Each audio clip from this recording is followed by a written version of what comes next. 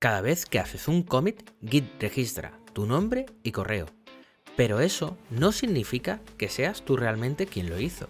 Firmar un commit es como decir, sí, esto lo escribí yo, y aquí tienes mi firma digital para comprobarlo. Y plataformas como GitHub lo marcan como verified, dándole más seguridad y credibilidad a tu trabajo. Ideal si colaboras en proyectos open source, trabajas en equipo o simplemente quieres buenas prácticas profesionales. Hoy vamos a hablar de algo que muchos desarrolladores pasan por alto. Vamos a firmar nuestros commits. Lo vamos a hacer con GPG y SSH. De esta manera, tus aportes serán verificados, autenticados y profesionales. Así que sin más preámbulos, comencemos.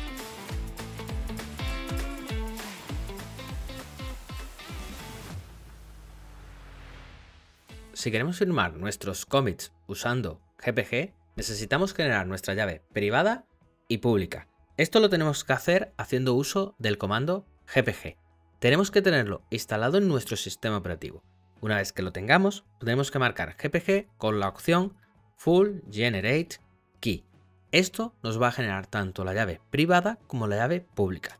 Le damos y lo que nos va a preguntar es con qué algoritmo queremos que se cifren las llaves. Vamos a marcar la primera opción, RSA, y le damos. Bien, ¿con qué longitud? Pues vamos a poner 4096. Vamos a usar un poquito más de bits.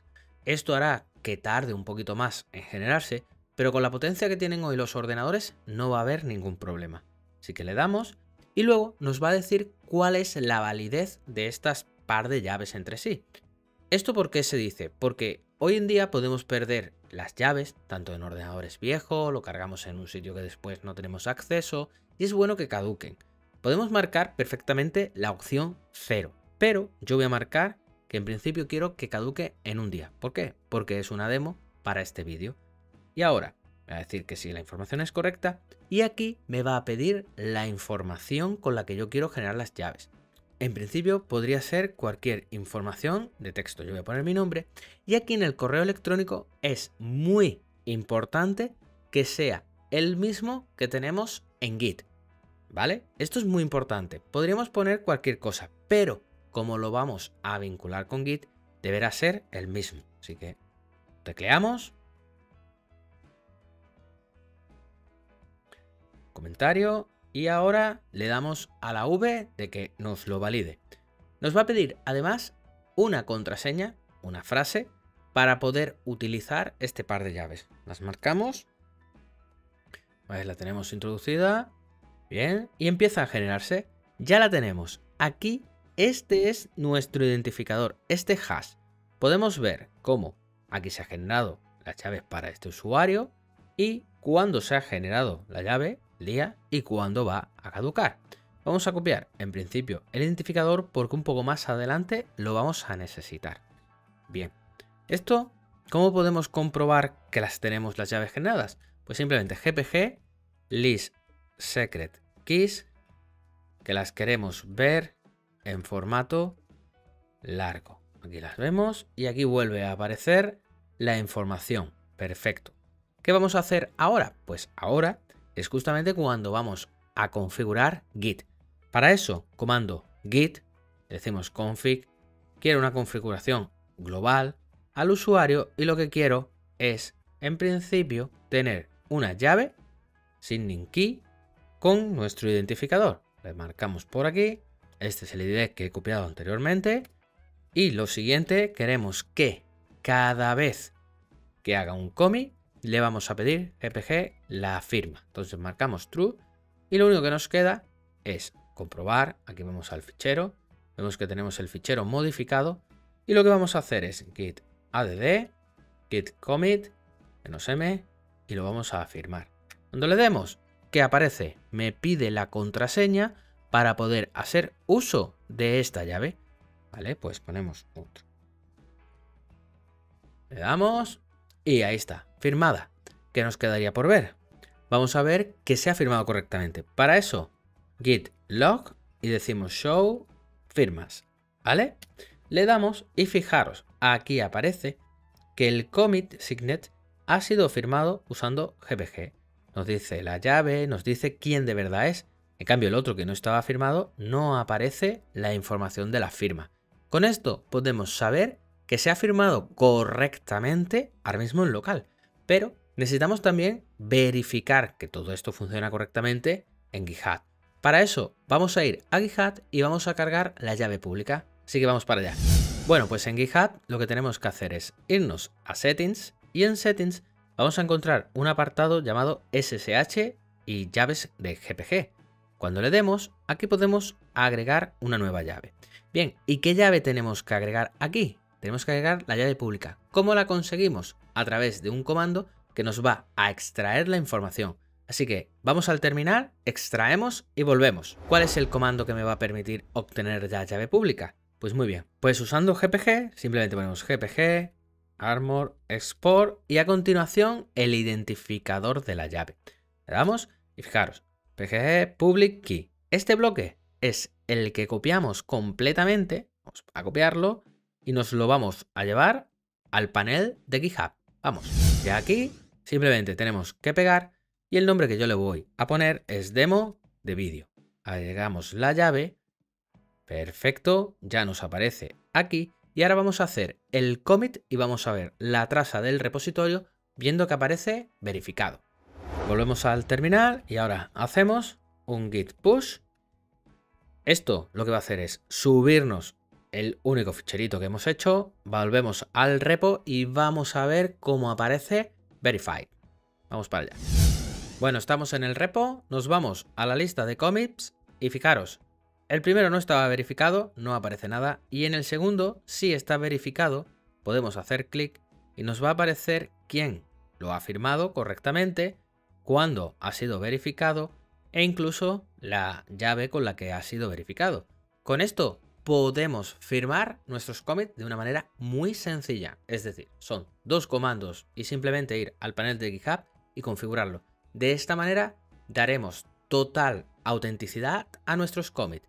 Pero no solo esto, también podemos hacerlo a través de SSH y vamos a ver cómo se hace. Al igual que hicimos con GPG, necesitamos generar un par de llaves.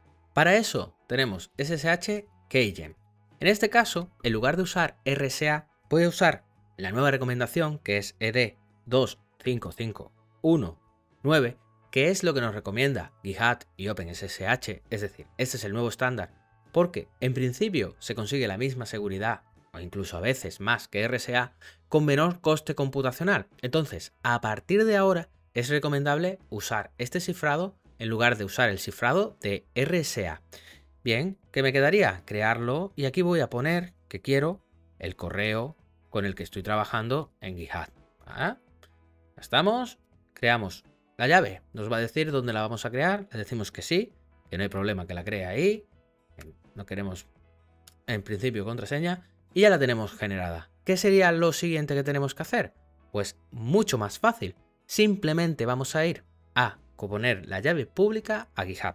Para eso necesitamos verla. ¿Dónde va a estar? Pues va a estar en nuestro directorio home, es decir, en el home del usuario, .ssh, y como la hemos llamado, id ed25519, fijaros que aquí vamos a tener dos. La privada, que no tiene ninguna extensión, y la pública, que es .pu. Pues es la pública la que tenemos que situar en GitHub. Vamos, y ahí la vemos, ¿vale?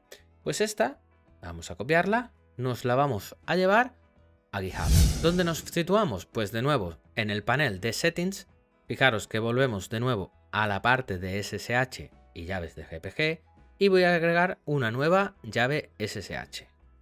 pego, pongo demo de vídeo, la agrego y ya la tengo configurada en GitHub. Ahora voy a configurar mi repo de Git para que se usen las llaves para firmar. Bueno, pues vamos a configurar Git para que firmes con la llave que acabamos de generar usando SSH. Para eso, git config global y lo siguiente que hacemos es gpg.format ssh. Siguiente, tenemos que decir con qué llave vamos a firmar. Así que git config global user.signing y aquí tenemos que poner dónde está la llave para firmar, que va a estar en el home, en .ssh, id ed25519 pub. ¿Qué nos quedaría? Pues que aunque ya lo hemos hecho, por si solo estáis viendo esta parte del vídeo, tenemos que marcar que queremos que siempre que se haga un commit haya una firma GPG. Sin true. Vale, pues lo que nos quedaría, hacer un cambio. Y vamos a comprobar. Guardamos. Git add, git commit, "-m", y este va a ser firmado usando SSH.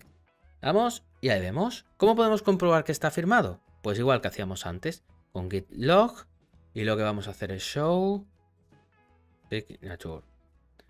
Vamos a revisar. Y fijaros qué sorpresa. No firmado. ¿Qué está pasando? Aquí nos dice, oye, que te falta el fichero de firmas. Esto es un error común de configuración. ¿Qué necesitamos hacer? Vamos a crear el fichero donde va a poder Git comprobar las firmas y lo vamos a configurar. Con lo cual, no os asustéis que esto es normal que nos haya salido. Así que salimos por aquí y lo que vamos a hacer es crearnos este fichero. ¿Dónde deberíamos crearnos el fichero? Pues vamos allá, vamos a crearnos en nuestro home, en el home de nuestro usuario .config git y vamos a crear aquí un fichero que simplemente será .config será git los las firmas o los firmantes que están permitidos ¿vale? Bueno, pues lo primero que tenemos que poner el correo, el mismo que tenemos tanto en GitHub como en la llave SSH a continuación tenemos que poner el tipo de cifrado SSH-ED25519 y la llave pública que la tengo guardada. Con esto guardamos y ahora vamos a echar un vistazo de nuevo al git log show y vamos a ver qué sucede. Ahí está, mirad. Git firma para el usuario con esta llave y está firmado totalmente válido. Entonces, ¿Qué quedaría? Pues hacer el git push, subirlo de nuevo y que se pueda verificar en GitHub que la llave es correcta, exactamente igual que ya hicimos cuando lo hemos hecho con GPG. Así que hasta aquí, suficiente para aprender a firmar, tanto usando GPG como SSH. Nos vemos en la próxima. Hasta luego.